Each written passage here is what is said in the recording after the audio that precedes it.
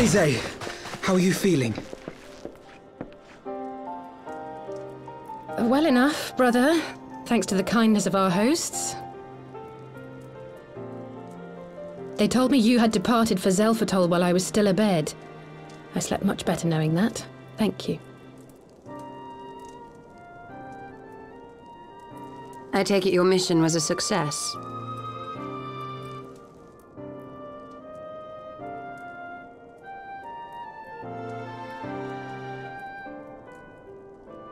As if we needed any further confirmation that they are in league with the Ascians. But to save another world? I think not. I too thought his story fanciful at first. But it is possible there may be a kernel of truth in all of this.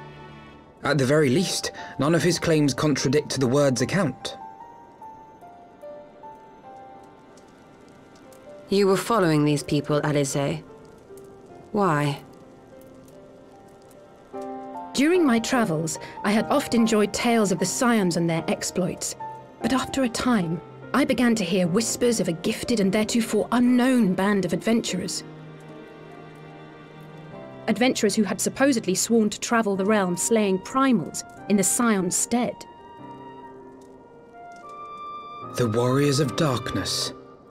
And in the course of investigating these rumors, you stumbled upon the Ascians' involvement.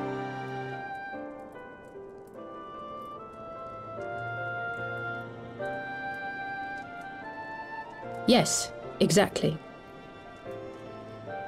Forgive me, but if these warriors of darkness mean to bring about another calamity, to what end do they hunt primals? To prompt an escalation. To deepen the beast tribe's feelings of helplessness and despair, and thereby drive them to summon ever more powerful gods. And lest we forget, these events do not occur in isolation. With their patron deities being slain left and right, the news of man's victory over Nidhogg must surely have sown panic in the minds of the beastmen. Tis no wonder they wish to defend themselves.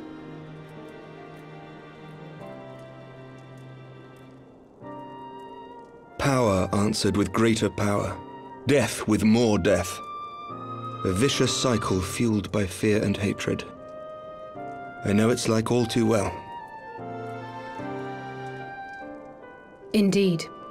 The Ascians sow discord and desperation, and the warriors of darkness reap the harvest. And so it continues. Yet that is not the extent of their ambitions. The Ascian himself observed that once the powerless realize that the old gods have failed them, they will have little recourse but to look to a new one.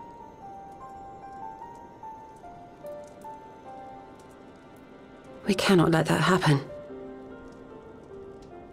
It should come as no surprise, but Alisaie and I have uncovered evidence that the Ascians have been manipulating certain parties to ensure that a constant stream of crystals flows into the hands of the beast tribes.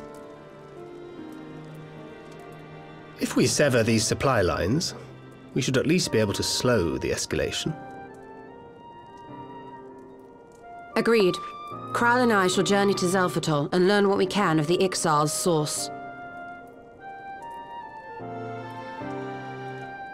Then I, for my part, pledge to lead a similar investigation into the origin of the Nath supply. Sir Aymeric?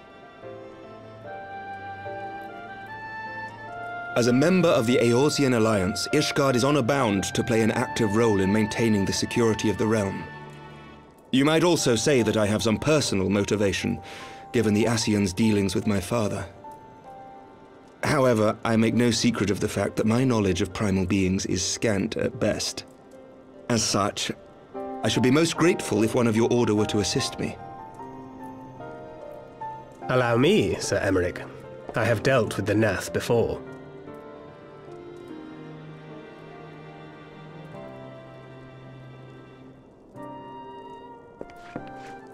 Let us consult with Urianger then. Given his dedication to the study of primal beings, I should be surprised if he could not tell us something of value. Allow me to accompany you, brother. And before you think to refuse, know that I am not the girl I once was. I shall not be a burden. You have my word. But Alisaie, you...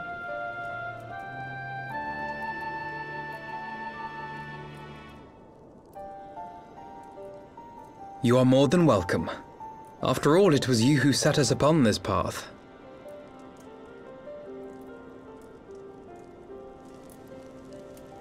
Wait a minute. I'm afraid I can't allow you to leave just yet. Not until you try on the new outfit I prepared for you.